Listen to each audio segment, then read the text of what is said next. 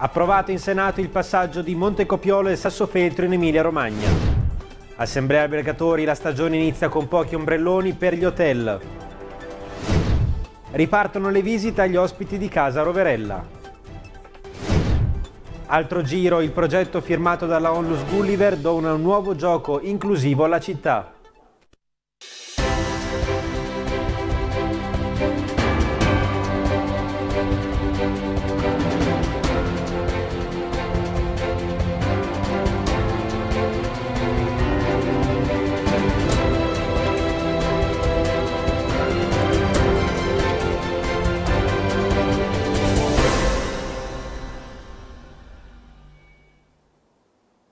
Una buona serata a tutti i telespettatori di Rossini TV, il canale 633 del Digitale Terrestre. Bentornati a un nuovo appuntamento con l'informazione del nostro telegiornale Rossini News.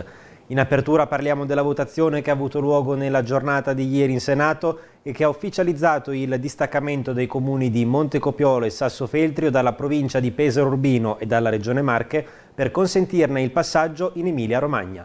Ne parliamo in questo primo servizio. Con il risultato finale di 166 voti favorevoli, 41 contrari e 12 astenuti, ieri il Senato ha dato il via libera definitivo per il passaggio dei comuni di Montecopiolo e Salsofeltrio dalle Marche e dalla provincia di Pesaro Urbino all'Emilia-Romagna, nell'ambito della provincia riminese. Il lungo iter referendario aveva avuto origine nel giugno del 2007, con le votazioni nei due comuni. Qualche anno più tardi, nel 2012, era poi arrivato il via libera per l'aggregazione da parte dell'Emilia-Romagna mentre nel 2016 la Regione Marche aveva espresso parere contrario.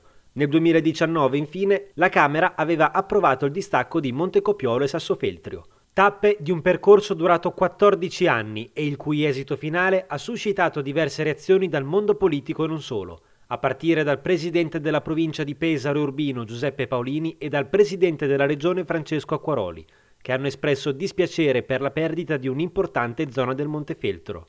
Il sindaco di Montecopiolo, Pietro Rossi, ha ricordato poi le indicazioni emerse durante il voto del 2007, dove oltre l'80% dei votanti per entrambi i comuni si era dichiarato favorevole al cambio di regione.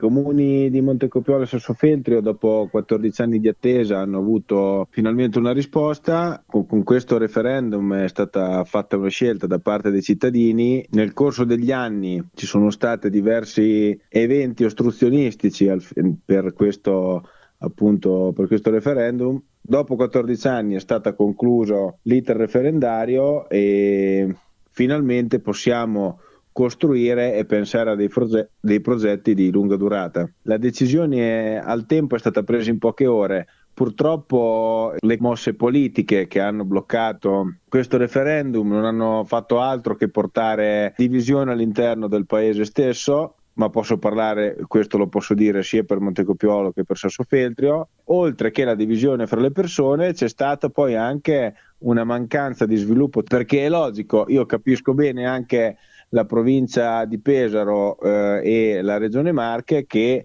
eh, quando dovevano pensare di investire sul territorio avevano sempre in mente questi sono quelli che andranno via. La difficoltà appunto nel riuscire a portare avanti progetti a lungo termine era dovuta anche a questa indecisione di, di identità.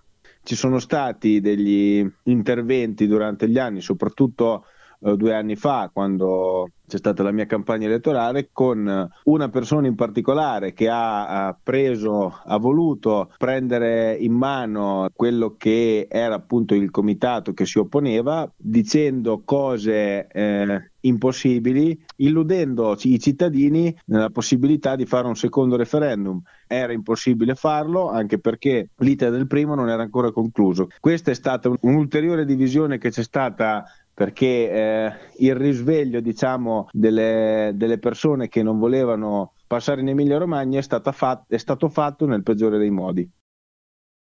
Parliamo anche di cronaca perché si sono verificati questa notte all'interno della scuola primaria Don Milani situata in via Toscanini a Pesaro alcuni atti vandalici che hanno portato al danneggiamento di locali e infissi all'interno dell'edificio. Ancora ignoto il gruppo di malintenzionati che si è reso protagonista del gesto, su cui stanno tuttora indagando i carabinieri. E si è svolta ieri pomeriggio nella cornice dell'Alexander Museum Palace Hotel di Pesaro l'assemblea degli albergatori a pochi giorni dall'effettivo inizio della stagione estiva 2021. Diverse le problematiche evidenziate dal presidente di APA Hotel Fabrizio Oliva che sentiamo in questo prossimo servizio. Pochi ombrelloni destinati alle strutture ricettive della città a pochi giorni dall'inizio della stagione estiva. È iniziata evidenziando la maggior problematica riscontrata tra titolari e gestori delle strutture ricettive cittadine l'Assemblea degli albergatori pesaresi. A sottolineare le carenze riscontrate in tema spiagge è stato il presidente APA Hotels Fabrizio Oliva. Questa è l'assemblea prima dell'apertura della stagione che anche questo non presenta non poche difficoltà, ovviamente è stata un'assemblea molto partecipata, c'erano tantissimi albergatori, l'argomento clou eh, non poteva che essere quello delle spiagge, dove purtroppo ancora ci sono albergatori che non hanno la possibilità di avere gli ombrelloni, quindi rischiano comunque di rinunciare a delle prenotazioni. Noi abbiamo avuto un incontro anche stamattina con l'amministrazione comunale, abbiamo fatto in queste settimane una grossa azione di, di, di pressione nei confronti dell'amministrazione affinché mettesse a disposizione altri fondi per il ripascimento delle spiagge, li abbiamo ottenuti, vorremmo che questi soldi per il maggior ripascimento servissero a dare più ombrelloni agli albergatori. I prossimi giorni saremo convocati assieme agli operatori di spiaggia in comune per, per essere conseguenti. Durante l'assemblea si è poi discusso dell'assetto e dell'arredo urbano della zona mare per la prossima stagione estiva. In questo caso critiche e voci di dissenso sono state espresse soprattutto per la riproposizione dell'isola pedonale lungo Viale Trieste. Si è discusso eh, dell'arredo urbano della città in modo particolare si è discusso della zona di Levante e della zona di Ponente e la soluzione di Levante è abbastanza condivisa perché l'abbiamo chiesto noi come albergatori, era prevista la ruota panoramica, è stata spostata, ora ovviamente comunque il piazzale Trieste va abbellito e va fatto un minimo di animazione, mentre per quello che riguarda la zona di Levante, quindi l'isola pedonale, questa isola pedonale non è molto condivisa da noi e quindi avremmo auspicato il non ripetersi, eh, il non ripetere la situazione del 2020 perché rischiamo di avere tutto Viale Trieste desertificato dalle, dalle 9 del mattino fino alle 18 del pomeriggio. I numeri elencati dal presidente Oliva parlano di una riapertura graduale delle strutture, con il 60% degli alberghi, stagionali compresi, pronti a riaprire entro i primi giorni di giugno, per arrivare poi alla completa ripresa entro la fine del mese. Tra le novità annunciate, la costituzione, insieme agli albergatori di Gabicce, dell'Associazione del San Bartolo, per una promozione del territorio unita insieme ai territori della Riviera, Pesaro, Gabicce e Gradara. Sulle tematiche nazionali, Oliva ha sottolineato la necessità di abolire il coprifuoco già a partire dall'inizio del prossimo mese, mentre a livello locale è stato firmato insieme al presidente Aspes Luca Pieri un accordo che garantisce uno sconto a dipendenti e turisti degli alberghi per effettuare tamponi rapidi nelle farmacie comunali. Noi siamo stati la prima associazione in Riviera a fare l'accordo con le farmacie comunali per poter fare i tamponi sia per i turisti sia per i dipendenti delle strutture ricettive. Quindi la convenzione prevede la possibilità presso le due farmacie comunali che sono in zona mare, quindi in Viale Fiume e a Soria, di poter fare i tamponi al prezzo scontato di 12,70 euro.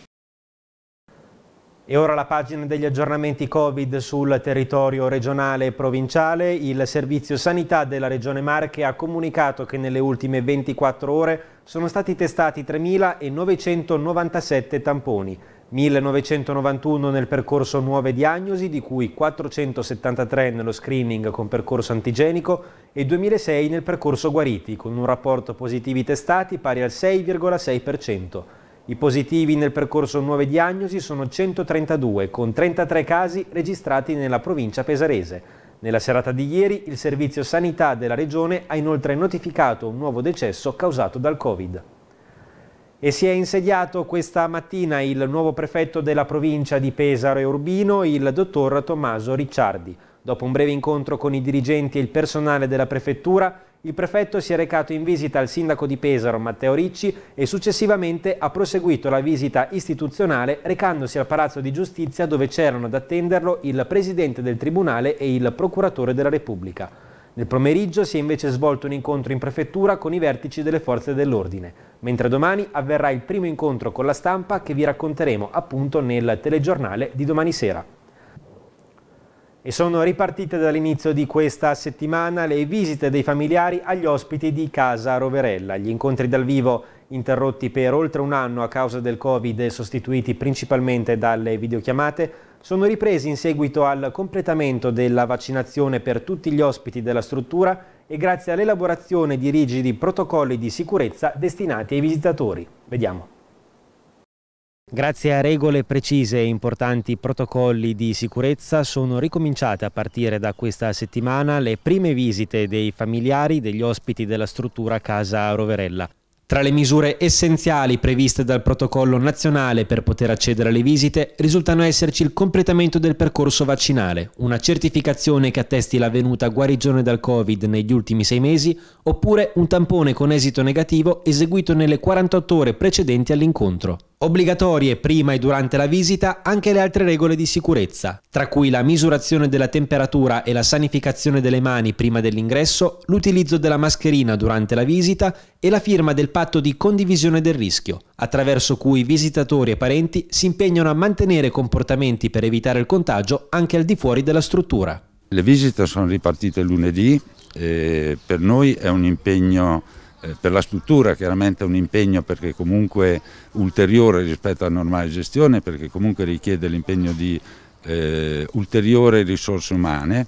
Su questo ci sta dando un eh, grosso contributo l'Anteas attraverso la messa a disposizione di volontari.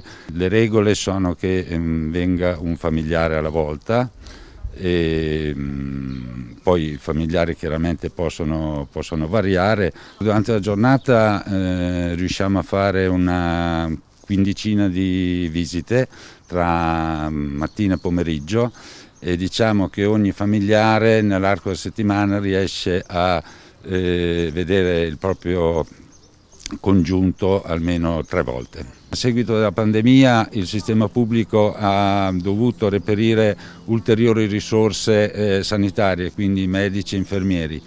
Quello che ci ha toccato a noi come struttura, ma non solo Casa Rovarella, credo tutte le strutture eh, che si occupano della gestione di persone anziane, è la carenza di personale infermieristico che è stato appunto eh, assorbito dal sistema pubblico da parte nostra e da parte di tutte le strutture che si occupano appunto di residenzialità per anziani c'è quella di sollecitare la Regione affinché intervenga nel, soprattutto nell'aumentare il numero di persone che vengono formate nelle scuole infermieristiche e c'è un'altra possibilità che è quella di eh, abilitare l'OS, che è una figura socio-assistenziale, eh, a svolgere alcune mansioni eh, di natura sanitaria a supporto dell'infermiere. Gli ospiti finalmente dopo più di un anno possono toccare le mani dei loro cari e lo stesso per i familiari. Fino a questo momento i contatti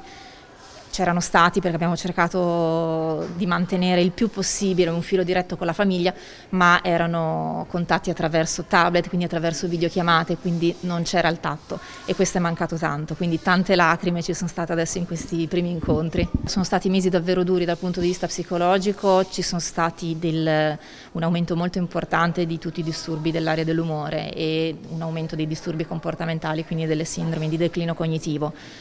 È stato tanto difficile anche per i familiari perché comunque era forte il senso di, di impotenza, comunque eh, noi cercavamo di eh, mantenere un contatto, però alla fine si dovevano comunque fidare e affidare totalmente a noi e alle nostre parole, non c'era il loro supporto, quindi eh, il nostro lavoro di psicologo poi è, è ovviamente è cambiato tanto in questi mesi, quindi siamo passati dal fornire un sostegno generale alla struttura, agli operatori al, eh, e ai familiari al diventare proprio il tramite, il collegamento eh, tra la struttura e la famiglia.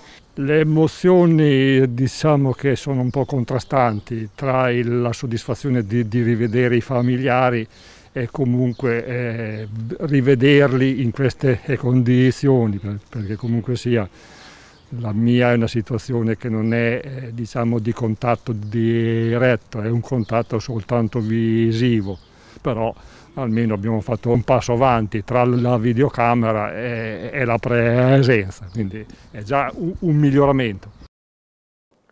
Dinner in the Sky, il ristorante che dà ai suoi commensali la possibilità di cenare o degustare un aperitivo sospesi a 50 metri di altezza, torna nella città di Pesaro il 30 e il 31 luglio e il 1 agosto del 2021. Il format farà tappa nella suggestiva cornice di Baia Flaminia e sul sito è già possibile prenotare un biglietto per una delle quattro diverse formule in programma, appunto aperitivo, apericena, cena o after dinner.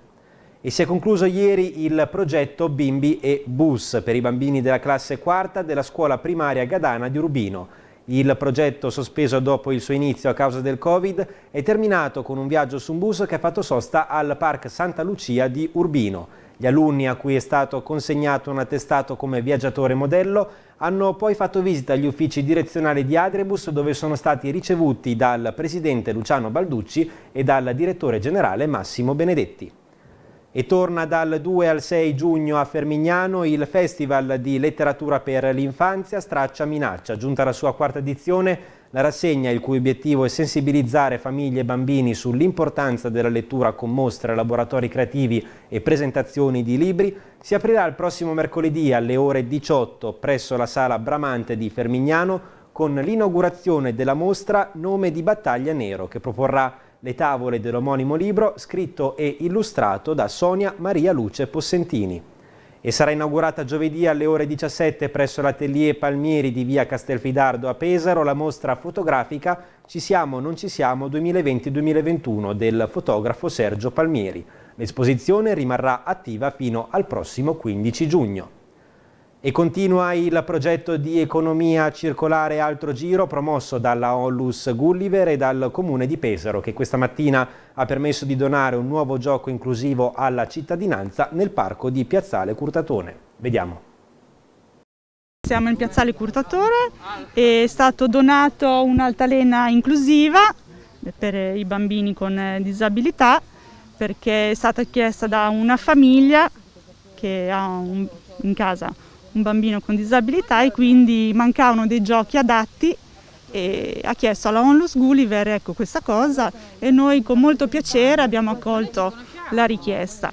Grazie ai cittadini che portano i loro oggetti inutilizzati alle botteghe del riuso della Gulliver e grazie ai cittadini che vanno nelle botteghe ad acquistare e con il ricavato possono venire acquistati questi, questi giochi per i parchi.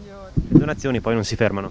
Assolutamente no, abbiamo in progetto altri giochi sempre per i parchi perché quest'anno il progetto si chiama Altro Giro insomma e fa parte dell'economia circolare insomma tu doni, noi vendiamo e con il ricavato come dicevo prima vengono acquistati oggetti per la città per i parchi o altro. La Gulliver ha dimostrato grande disponibilità e grande sensibilità rispetto al, al progetto di, di, nuovi giochi. Oggi andiamo ad inaugurare un'altalena inclusiva che ci è stata chiesta appunto da una nonna che risiede qui nella zona e ci sembrava un, un, un bel messaggio. Il messaggio ulteriore ovviamente quello che ci lascia la Gulliver è di non buttare via niente perché tutto può ritornare. In questo caso vestiti, mobili che uno a casa invece di, di buttare magari li porta alla Gulliver e continuerà insomma anche per i prossimi mesi questo progetto delle aree giochi. So già che si sono attivati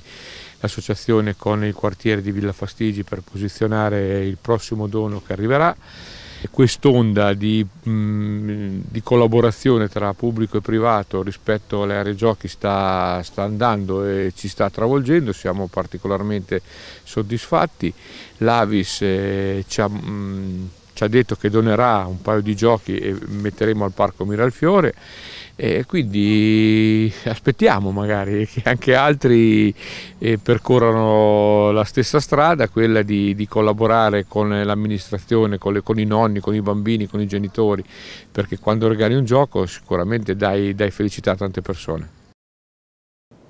Per il diciassettesimo anno consecutivo la bandiera blu sventola nel lungomare pesarese. Questa mattina al Moletto si è svolta la cerimonia di riconoscimento per i 56 stabilimenti balneari di Ponente, Levante e Sottomonte. Vediamo.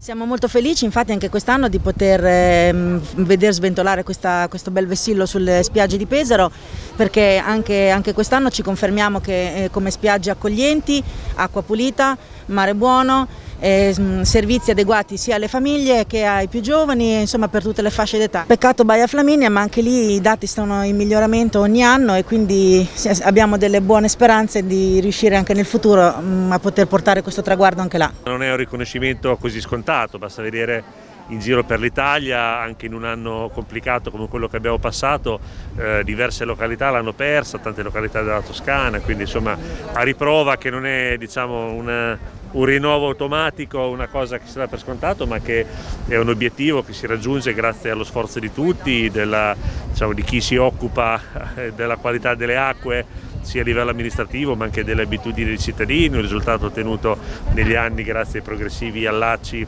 al depuratore, insomma tante, tante politiche che fanno in modo che eh, la bandiera blu possa sventolare a garanzia della qualità delle acque e anche dell'accoglienza turistica, perché poi diciamo, eh, i vari parametri che vengono presi in considerazione non riguardano solamente la qualità delle acque, che ovviamente è il primo dato fondamentale, ma tutta una serie di elementi, dei servizi, l'accoglienza, le politiche ambientali integrate, a tutto quello che insomma, in questi anni abbiamo cercato di sviluppare, per cui Pesaro si sta eh, finalmente negli ultimi decenni diciamo, caratterizzando. E continua anche la rubrica dedicata agli appassionati del giardinaggio con i consigli in vista dell'arrivo dell'estate.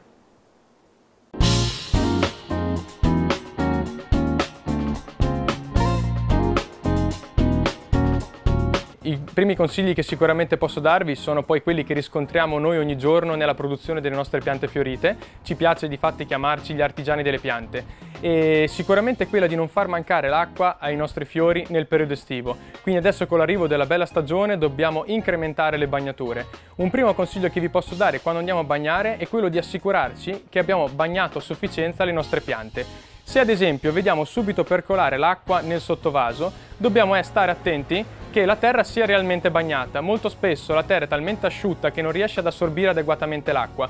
Assicuriamoci attraverso il peso della vaschetta che sia sufficientemente bagnata.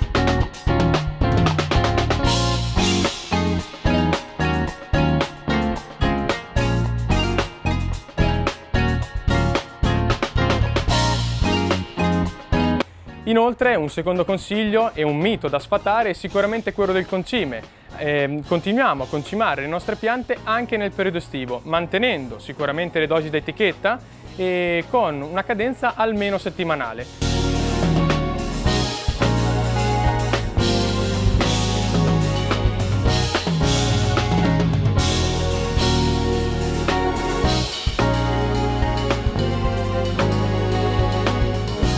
Il terzo consiglio che vi posso dare sicuramente nel caso in cui abbiate sul balcone delle bellissime surfigne è quello di spuntarle. Sembra una cosa fuori ogni, ogni regola, ma se potiamo le nostre surfigne adeguatamente vedrete che rincominceranno subito a fiorire. Quindi eh, prima di aspettare che la pianta si rovini completamente possiamo agire quindi con le forbici spuntando la pianta dandogli questo, questo stimolo a ripartire nuovamente con nuovi getti che porteranno poi tantissimi nuovi fiori. Vedrete i risultati della vostra potatura dopo circa 15 soli giorni.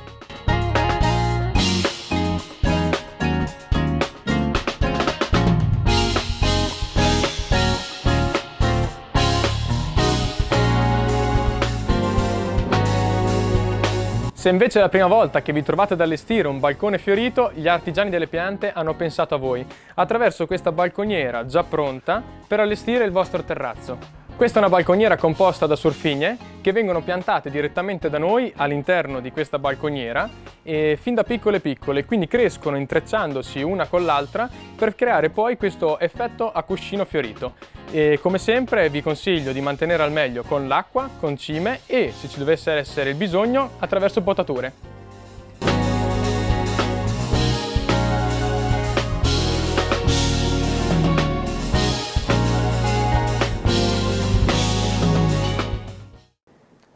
Questa era davvero l'ultima notizia per il nostro telegiornale. Vi ricordo ora la prima serata di Rossini TV. Come tutti i mercoledì, questa sera alle 21.15, un nuovo appuntamento con Qua la Zampa. Lo vedete nel cartello anche gli orari e i giorni delle repliche, questa sera però la nuova puntata in onda alle 21.15 e vi ricordiamo che è possibile inviarci al nostro numero 370 366 7210 le foto dei vostri animali insieme al loro nome per partecipare appunto e per trasmetterle durante la messa in onda della trasmissione. E vi ricordiamo che è possibile scaricare dagli store digitali Apple e Android la nuova applicazione di Rossini TV attraverso la quale potrete seguire la programmazione della nostra emittente sul vostro smartphone o tablet 24 ore su 24 in diretta oppure rivedere i principali contenuti all'interno delle sezioni appunto dell'applicazione. Vi ricordo inoltre l'appuntamento con l'informazione su Rossini TV che torna puntuale domani mattina alle 7.20 in diretta con la nostra rassegna stampa Buongiorno Rossini. Grazie per averci seguito in questa edizione del nostro telegiornale, vi auguriamo un buon proseguimento di serata su Rossini TV.